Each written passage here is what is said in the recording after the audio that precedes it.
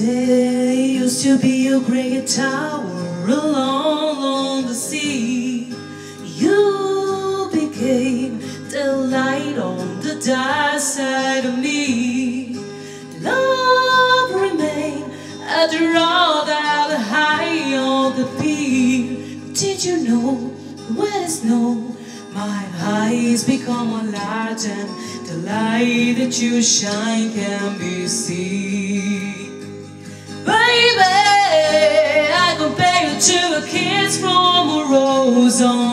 Buongiorno e bentornati qui da me per un nuovo video. Già, oggi è uno di quei giorni, uno di quei giorni dedicati alle figate tech che ho selezionato e provato con cura e con la consueta soddisfazione personale, già perché la verità è che mi diverto sempre troppo a fare questo tipo di video. E se siete contenti che continui la serie delle figate tech mi raccomando fatemelo sapere con un like sotto al video, iscrivendovi al canale e attivando la campanellina. E detto questo, beh sì, lo confesso, ci tengo a curare il mio aspetto fisico ed è per questo che provo sempre volentieri tutto ciò che può permettermi di curare al meglio anche la mia barba, no? E allora eccomi con la nuova serie di prodotti Brown dedicati alla rasatura e alla cura della barba. Prodotti assolutamente indispensabili per noi uomini, sia per chi desidera avere la pelle liscia come un bimbo, ma anche per chi, come me, desidera appunto mantenere una barba lunga ma ordinata. Il più performante della nuova serie è sicuramente il Brown Series 7 con la tecnologia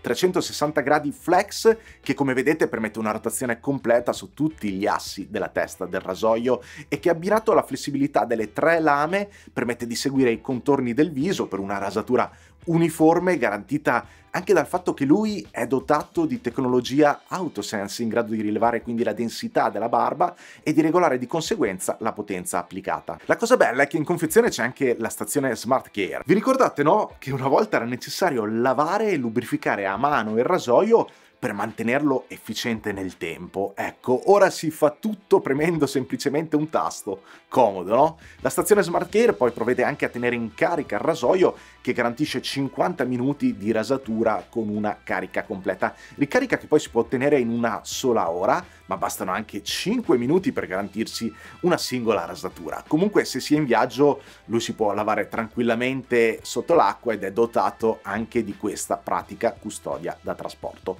Per me poi è fondamentale la funzione Easy Click, no? che consente di utilizzare gli altri accessori in confezione, come il rifinitore per barba folta da 0,5 fino a 7 mm, il rifinitore di precisione per rifinire i bordi della barba, il rifinitore per la barba incolta ma curata e il rifinitore corpo, oltre che la spazzolina di pulizia. Insomma, un set completo di accessori per ogni esigenza. Tecnologia Easy Click che si trova anche sul Brown Series 6 che anch'esso è dotato di accessori e della stazione Smart Care, ma anche della stessa autonomia e della custodia di trasporto, con la differenza che in questo caso lui ha una tecnologia con testina Sensoflex che aiuta a ridurre la pressione sulla pelle tanto che è dermatologicamente testato. E infine ho provato anche il Sirius 5, un prodotto indubbiamente più semplice, in questo caso solo con le lame flessibili, ma ugualmente compatibile eventualmente con la stazione Smart Care, ma anche col sistema Easy Clean, che permette di pulire il rasoio senza rimuovere la testina, ma anche con la tecnologia Easy Click per cambiare gli accessori, no? E con la stessa capacità di batteria.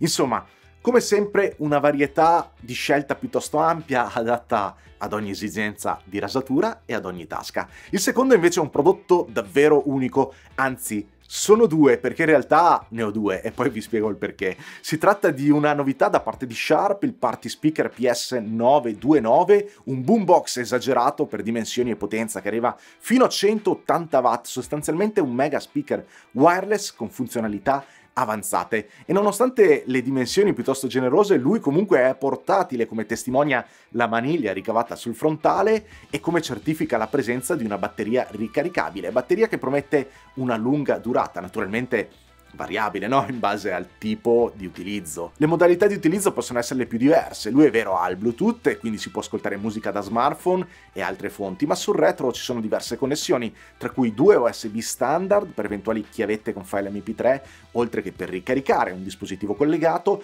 ma anche una porta AUX e l'alimentazione a corrente, con un interruttore per l'accensione, ma soprattutto un ingresso microfono e un ingresso per la chitarra. Microfono peraltro presente in confezione, sicuramente non professionale, ma perfetto per fare qualche performance canora o per divertirsi in compagnia con il karaoke. Interessante il fatto che le connessioni siano ben protette con una copertura per la polvere quando magari lo si porta all'esterno. Sulla parte superiore c'è anche un display e tutti i tasti necessari al suo funzionamento, oltre a due rotelle per gestire separatamente il volume della cassa e il volume in uscita del microfono o della chitarra. Sempre qui sopra c'è anche un tasto per gestire gli effetti luminosi che, ok, possono piacere o meno, ma che si possono anche personalizzare o addirittura disattivare del tutto. E poi c'è il tasto Super Bass che aumenta la potenza dei bassi sì, se proprio ne sentirete la necessità, che poi è lo stesso tasto che permette di sdoppiare in modalità dual mod, cioè stereo, due speaker che diventeranno così un'unica fonte sonora. Non manca poi la possibilità di equalizzare il suono a seconda del genere musicale e di, volendo, poterlo posizionare anche in orizzontale, ma direi che è molto più interessante farvi ascoltare qualcosa piuttosto che parlarne.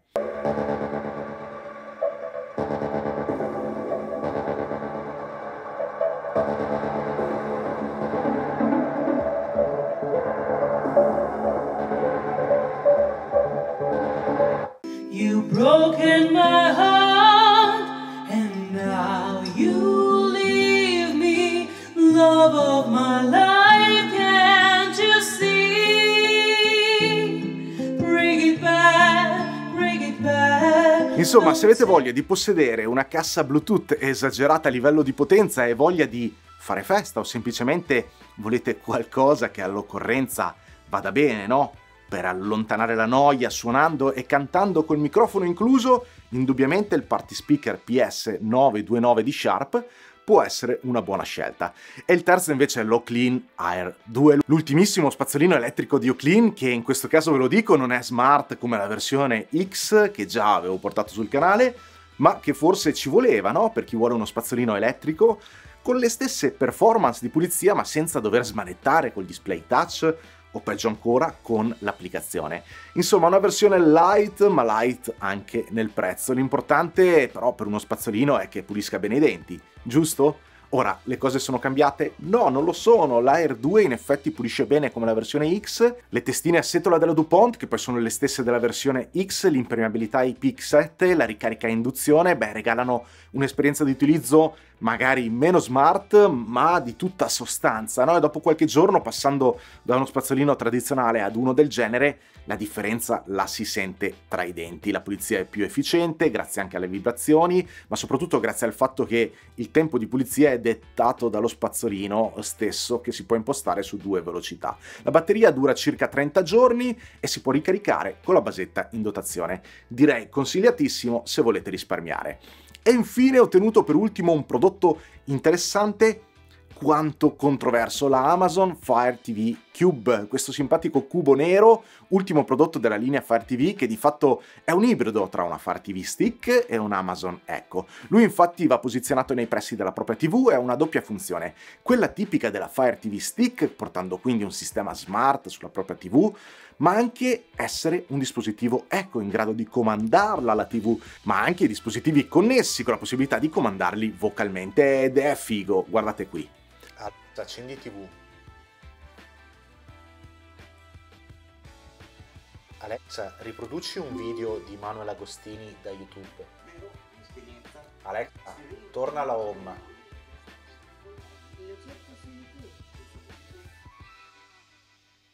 Alexa, fammi vedere Hannah.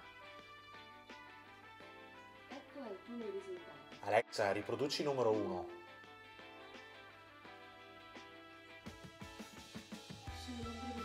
Peccato che funzioni molto bene utilizzando Prime TV, ma meno bene con tutte le altre app dove ci si limita ad aprirle, gestire la riproduzione e il volume. Seppur limitato, io comunque lo trovo utile per quello che riguarda i comandi vocali, in particolare lo trovo utile per accendere o spegnere la TV quando non sono nei pressi del telecomando, e al limite poter gestire il volume, tutto il resto forse lo trovo un po' velleitario, tranne le funzioni tipiche degli Echo con display, come poter vedere le camere di sorveglianza, che è interessante, o magari le ultime notizie. Per quello che riguarda la parte smart non ho alcun appunto da fare, invece funziona a meraviglia, il sistema è reattivo, veloce, privo di fastidiose attese. Tutte le app che utilizzo funzionano bene, anche se qui c'è un ma. Netflix, ad esempio, non riproduce il 4K ed è limitato al Full HD. Magari una limitazione temporanea, ma al momento c'è così come non è presente ad esempio l'app di Now TV. La connessione alla TV avviene tramite HDMI ed è bizzarro come non sia ancora presente una micro USB-C per l'alimentazione. In confezione comunque c'è un adattatore per la connessione Ethernet cablata, volendo, e anche un ripetitore di infrarossi qualora mettiate il cube in una posizione non adatta a poter comandare la TV. Nel mio caso, ad esempio, non ce n'è stato bisogno. Nonostante i suoi difetti, che comunque in gran parte potranno anche essere migliorati credo via software, è comunque un gadget interessante per chi ha voglia di aumentare un pochettino no, il livello di interazione della propria casa smart portandolo anche alla TV. Quindi per me è promossa con riserva. Ma come sempre sono curioso di sentire come la pensate voi e se avete domande sarò ben lieto di rispondervi qui sotto nei commenti e siccome le cose importanti ve le ho dette inizio video Beh, non posso fare altro che ringraziarvi. Grazie da Manuel Agostini e noi ci vediamo per un prossimo video, sempre qui sul mio canale YouTube.